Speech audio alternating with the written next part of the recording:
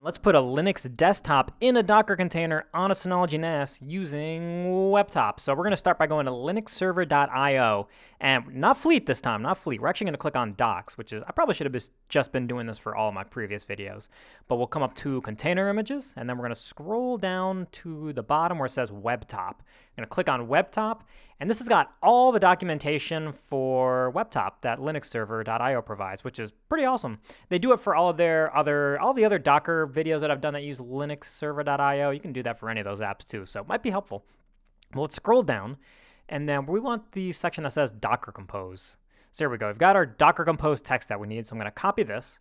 To head back into the Synology NAS. The only program that we need is one called Container Manager, which, if you don't have, just head over to the Package Center, type in Container Manager, and it should show up. If it's not showing up for you, that means that it is not available on your model of Synology NAS, but maybe Google around and see if people have gotten it to work on your specific model. So in Container Manager, we're going to click Project, Create, and we're going to do a new project name. We're going to call it WebTop, but you could call it whatever you want. You could call it Fresh RSS, but that's a whole different app, and that wouldn't make any sense. So we'll just stick with WebTop, keep it simple. So for path, we're going to go to File Station and create a folder for this all to live in. So I'm going to click on my Docker share, which you should have. When you create Container Manager, you should get this Docker share. And in here, I'm going to right click, create a new folder, and I'm just going to call it WebTop, which again, you could call it whatever you want. Click inside a WebTop, and let me go back to Container Manager. So for path, I'll set path to that folder we just created and Docker WebTop, select. And then for source, we are not uploading a Docker Compose. We're going to create one because it's a little bit easier. So I'm going to paste in all that text that I got from the linuxserver.io documentation. And we're going to make a couple of changes. So first off, let's go do the section that says environment, and then we need the PUID, PGID. And I happen to know that mine is 1028 and 100. So your PGID is also probably 100, but your ID is probably different. If you don't know how to get it, it's really easy. We're just going to come to Control Panel, and then come down to Task Scheduler. Let me delete this so I can show you how it's done fresh. We'll click Create Schedule Task, User-Defined Script. I'm going to uncheck Enable, Enabled, not Enable, Enabled, and then click on Task Settings, and under Run Command and User-Defined Scripts, I'm going to write a script. I'm just going to type in ID space greater than sign space. I'm going to click back into File Station. I'm going to right-click my Docker share, click Properties. I'm just going to copy that path. Your path is probably the same as mine, volume1 slash Docker. So I'll paste that in and then forward slash id.txt. And all this is going to do is create a text file in this location called id.txt that's going to have all that text information we need. So I'll click OK.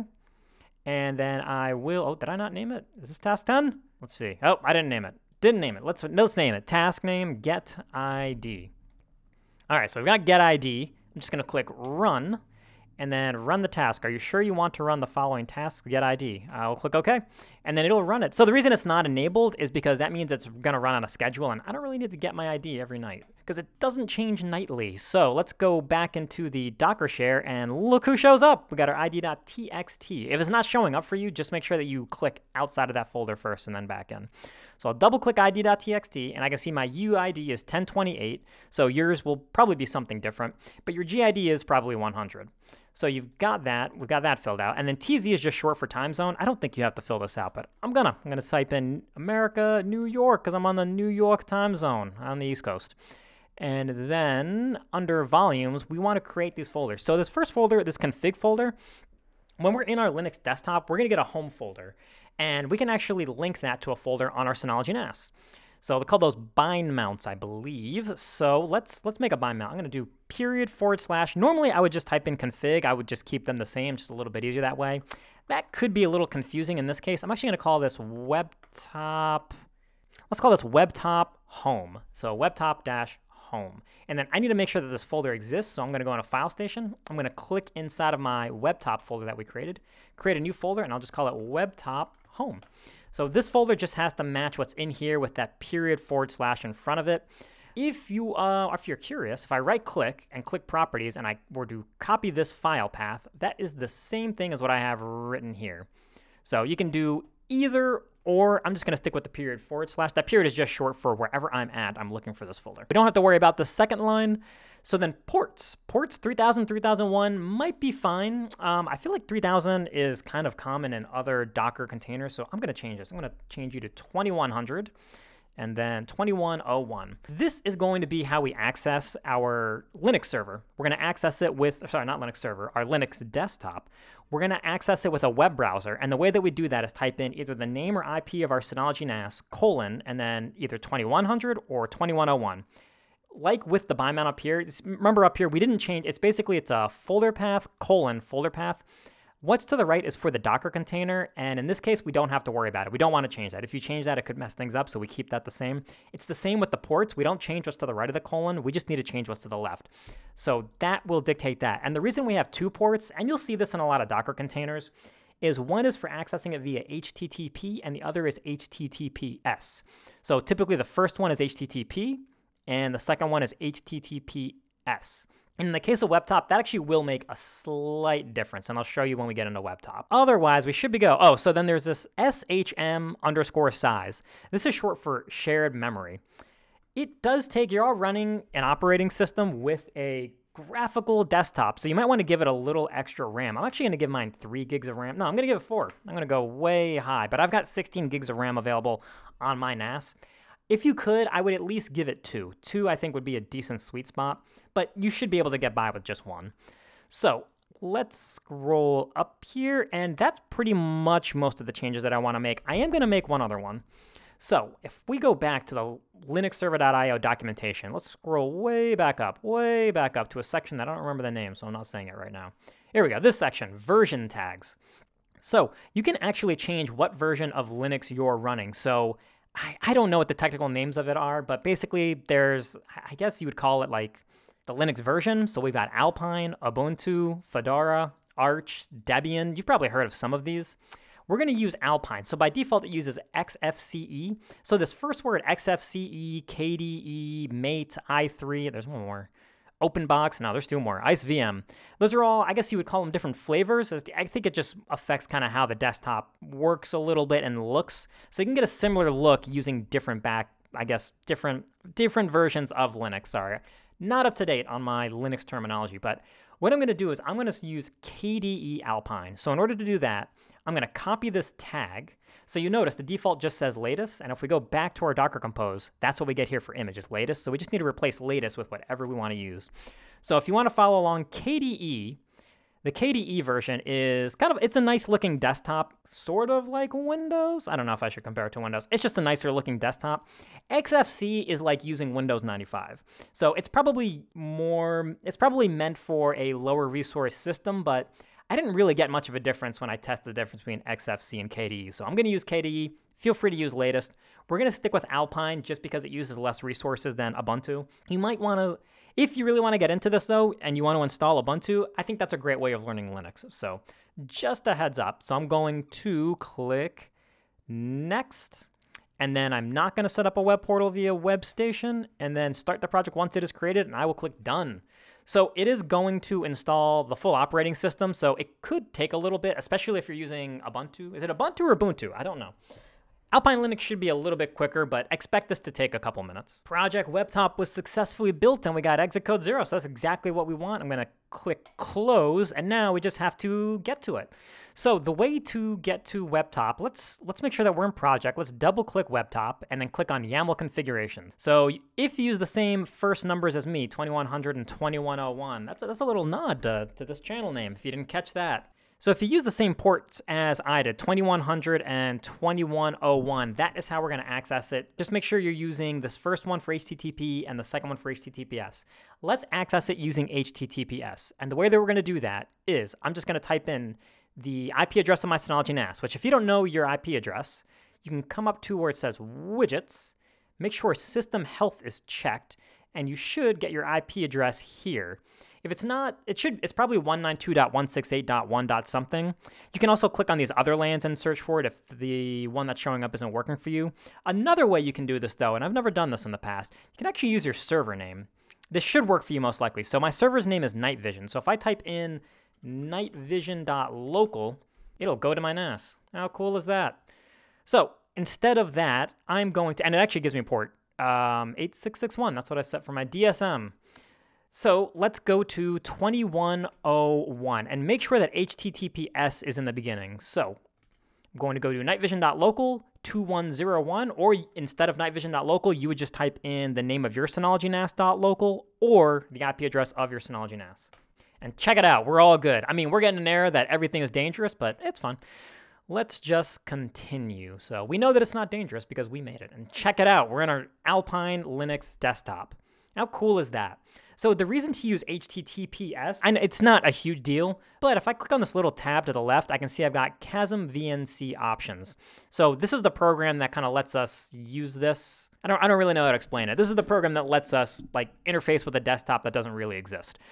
That doesn't have a monitor connected to it or anything. So if I click on settings, I can click on streaming quality and I can actually make this lossless. And I believe in the documentation it says you can only do that with HTTPS. So that's the reason I like to do that. But you've got a lot of options here to fix up your screen settings. If you want to change the, rev re not the revolution, the resolution, you can do that here. So let me exit out. I'm just going to click on settings here and that'll exit out of there. I'm going to hide you, but just know that you've got all these options here on the left that might help out. But there you go. You've got yourself an Alpine Linux desktop. So I'm not going to do a full Linux tutorial, but if you have never used Linux before, you're kind of interested in doing some Linux command line, I'll walk you through a little bit. The first thing I'll say though is you should be aware that there are going to be some differences between this and a full-fledged operating system. It's still running off your Synology NAS. It's definitely going to be a little bit slower, I would think, than if you ran it natively off of like a mini PC or something. So don't get too crazy on it. I was never able to use Docker, like to run Docker containers, I think that there are permission issues. So just know that if you're going to try some Linux stuff, this is probably going to be a little bit quirky. You're still running it in an in a container. So just just know that. But enough about that. Let's let's do what you should always do. The first thing you do when you've got a Linux system is you want to update it. So the command line for that in Alpine Linux, we'll just type in apk space update. And it's going to give me an error because I don't have permission. So I'm going to type in sudo apk update and that will give me an update. But that doesn't upgrade everything, so we have to type in sudo apk upgrade. And if I would have typed space minus y on there, I wouldn't have to say yes to anything. Oh, that's very quick. This, if you're doing this on, if you installed Ubuntu, you would have typed in sudo apt update and sudo apt upgrade, and then probably minus y, so you wouldn't have to say yes to everything. It'll do it automatically. So that's how that would work. But we are up to date. Let's download something. Let's download, let's do sudo apk add lazy docker. I'm to blow your mind with this one. So I'm going to type in, got it installed. I'm to type in lazy docker. Look at this. I can see all of my Docker containers that are up. So I think it will show your Docker containers that are on your Synology NAS. But if you've ever heard of lazy docker, it's real easy to install on, very easy to install on if you've never heard of Lazy Docker, it's very easy to install on Alpine Linux, but here you go. You've got one working. I don't know if you can, can you execute commands? Well, I don't want to stop this because I'm using it, currently using it, so that'd be a bad idea, but I can check out stats and environmental variables and config and all sorts of fun stuff. So I'm going to hit the Q key. You can see down here it's got all the options, not options, your keyboard shortcuts on what to do. So I'm going to click Q and that will get me out of Lazy Docker. Let's install another program. There was one that Veronica was talking about on the Home Lab podcast. It's called Newsboat. So I'm going to type in apk add Newsboat. Permission denied because I forgot sudo. sudo apk add Newsboat. So now we've got Newsboat. So if I type in Newsboat, it won't do anything because it's not configured, but it gives us an error. It gives us a little hint here. So it's trying to load URLs from this file here, but no file exists. So we can make it. So we'll just type in nano config.newsboat slash URLs. Nope, probably got to type in sudo at the beginning. It's making me type sudo for everything. Oh, nano's not found. So that means we don't have a text editor for command line. So I'm going to type in apk add nano. That is my favorite text editor. Sorry, sudo apk add nano. A lot of people use Vim. Vim is probably the most popular one, but I learned Nano and I'm too stubborn to learn anything new. I can, here's a little Linux shortcut for you. You hit the up arrow and it'll show you all the commands that you had just typed. And there we go. So now I've got that, and all I have to do is I can add it an RSS URL. So look at this. I'm going to click my Firefox, my Fire, Firefox, Firefox browser within my Linux Docker container. Let's get an RSS feed. So I'm just going to the Home Lab Show's website. You can tell it's a little, it's a little bit slower than it probably would be on your desktop. But if I scroll around here, hopefully I can find an RSS feed. And here we go. Okay, so this is their RSS feed. I had to scroll down a little bit. It's a little bit slow, but let me copy this. Oh, I missed a T. All right, I'm going to remember that. Copy this, and then I'm going to paste it in here by clicking Control Shift V is in Victor. I'm going to make sure that that T is in the beginning. And then I'm going to click Control X. You can see the keyboard shortcuts down here. So you see it says like this up arrow X, not an arrow, I don't know what it's called, a chevron maybe? That's short for control. So Control X will exit, and then I will just click Y because yes, I want to save it, and then I'll just hit enter and it'll save that file for me. So now if I type in Newsboat, look at that, I got my first RSS feed.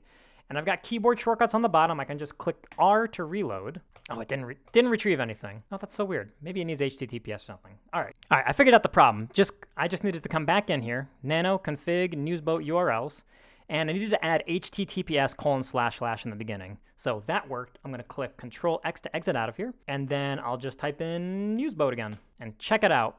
Just type in. Uh, I just need to click R, and that'll reload. And now I'm in. The, I've got the Home Lab show RSS feed all text. How cool is that? I think it works for YouTube feeds and news sites, all sorts of things. They, they got examples. They got examples if you look up the Newsboat website. What I should have done first, I don't know why I wasted my time doing that. Let me type in clear. That'll get rid of all this text. Let me put this to the right. That did not, that did not work at all. I want you to take up half the screen. You're taking up a very little bit. There you go. That's good. Then let me open up a, a file browser on the left. That worked a lot better. So check this out. If I type in ls, I've got all, I've got a desktop, downloads, pictures, or I'll type in ls space minus L, that'll list it out. All the folders that are here in command line are here in my file browser. And that's because I'm currently in command line, I'm in my home folder. So if I type this in, mkdir space, let's type in volume data 21. Check it out. I've got a folder called volume data 21 on my home, in my home folder on my desktop. And if I type in CD space volume data 21, I'm inside of that folder. So if I type in ls, there's nothing in there, and there's nothing in here. But if I type in nano space linuxy linux.txt, and I'll type in alpine linux is the best. And I will do control X, hit Y to save, and then enter to save it out. And look at that. If I type in ls, I've got a text file here and a text file here that I can open up. But just as impressive, if I go back to my Synology NAS, let me close out of Container Manager. I'm back in my Docker WebTop folder, WebTop Home. Look who shows up. All of those folders that were on my Linux desktop that I made in WebTop. And I've got a Volume Data 21 folder, and I've got this useful text file that says Alpine Linux is the best. So there you go. That is a really quick walkthrough of how to use WebTop. So hopefully you get some... Uh, hopefully you get some fun out of this. I think it's really cool. It's a great way to try Linux desktops, the couple that they've got on there. I think it's a great way to start to learn a little bit of Linux command line. And this doesn't really mess with your Synology system in any way, so it's kind of a safe way of doing it.